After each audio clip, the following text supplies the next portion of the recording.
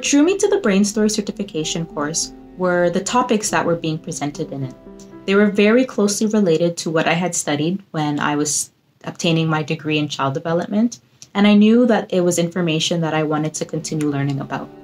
There was very little understanding of brain science among educators working within the sector.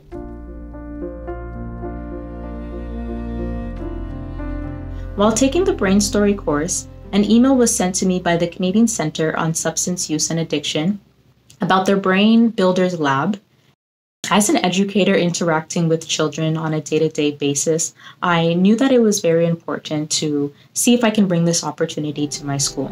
I was really excited to be able to attend the lab.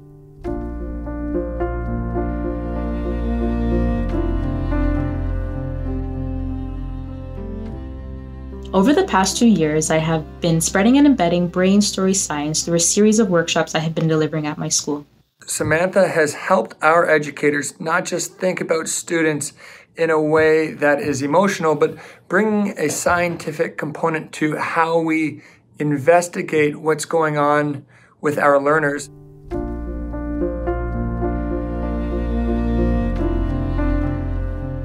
The impact that my workshops have had for my colleagues have included changes in the way that they view children's behavior, different strategies and techniques that they can use to create a calm environment, and different things that they can do to ensure that they're taking care of their own well being. Samantha's done a great job building practical teaching techniques so that all of our educators can apply them, especially those that work with our youngest students.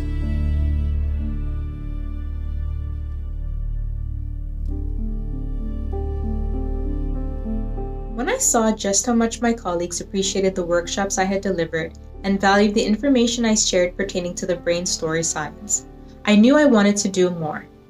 This is what led me to launching my own website where I share three areas I believe contribute to creating a healthy brain. Since launching my website last year in June, I have been able to reach people from all over the world, including right here in Canada, the United States, parts of Asia, and even parts of Europe. This opportunity gave me the chance to build confidence in myself in delivering workshops for educators and adults, which was something that was new for me. And I grew professionally and personally as a result.